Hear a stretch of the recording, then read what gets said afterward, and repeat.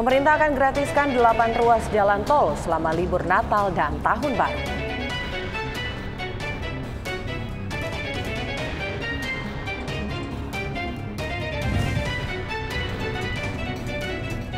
Bos Indomaret dan Alfamart masuk daftar 10 orang terkaya di Indonesia.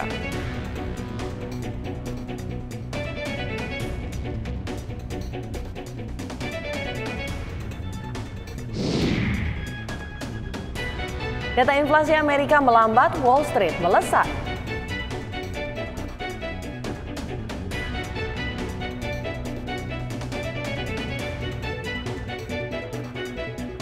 Selamat pagi pemirsa, selain informasi utama tadi, sejumlah berita terupdate lainnya akan kami hadirkan. Ya, Anda juga bisa menyaksikan live streaming kami di idxchannel.com. Saya Wiki Adrian. Dan saya Keisha Tuju, inilah Power Power, Breakfast. Breakfast.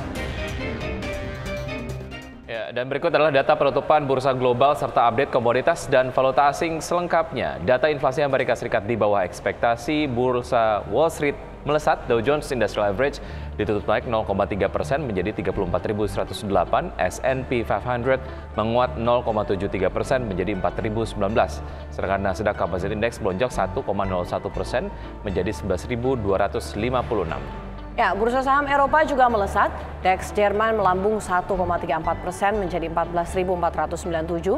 Di Inggris, indeks FTSE 100 naik 0,76 persen menjadi 7.502 dan CEC Prancis naik 1,42 persen menjadi 6.744. Ya, kita ke pergerakan IHSG ataupun pertemuan IHSG di um, sore kemarin yang IHSG me, uh, ditutup melesat 1,13 persen di level 6.810. Apakah hari ini IHSG siap teruskan tren bullish? Kita tunggu saja nanti ya. Ya, sementara pergerakan komoditas, minyak WTI melemah 0,25 persen di level 75,20 dolar Amerika per barrel. Nikel melemah 4,15 persen di level 28.292 dolar Amerika per metrik ton. Sementara emas melemah 0,17 persen di level 1.822,35 dolar Amerika per troy ounce. Dan kita juga akan lihat bagaimana pergerakan nilai tukar rupiah terhadap sejumlah mata uang utama dunia terhadap dolar Amerika Serikat di level 15.620, terhadap euro di level 16.607, dan terhadap pound sterling di level 19.299, dan terhadap yen Jepang di level 115,35.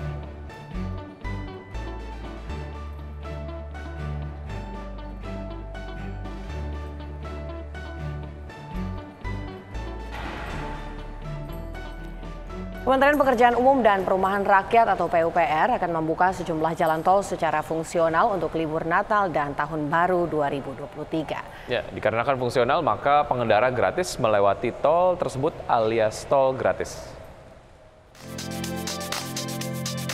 Kementerian Pekerjaan Umum dan Perumahan Rakyat atau PUPR akan membuka sejumlah tol secara fungsional untuk libur Natal dan Tahun Baru 2023. Dikarenakan fungsional maka pengendara gratis melewati tol tersebut alias tol gratis. Adapun tol yang diberlakukan fungsional atau digratiskan selama libur Natal dan Tahun Baru, yakni tol Bekasi Cawang Kampung Melayu seksi 2A dan 2A Ujung. Tol Semarang Demak seksi 2 Sayung Demak, tol Jakarta Cikampek Selatan paket 3 segmen Sadang Kuta Negara.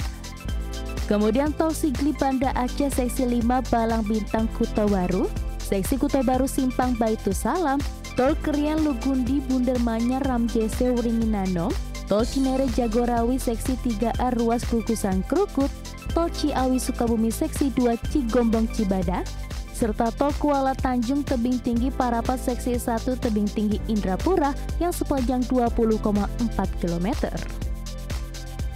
Kepala Badan Pengatur Jalan Tol atau BPJT Kementerian PUPR Danang Parikesit mengatakan, ada 8 tol fungsional yang disiapkan untuk mendukung arus lalu lintas saat Nataru. Meski gratis, pengguna tetap harus melakukan tapping kartu uang elektronik saat melintas. Selain secara fungsional, Kementerian PUPR juga mengumumkan ada dua ruas tol yang siap beroperasi, yakni Tol Bengkulu, Taba, Penanjung, dan Tol Cusum Dawa, Seksi 2. Berbagai sumber, IDX Channel.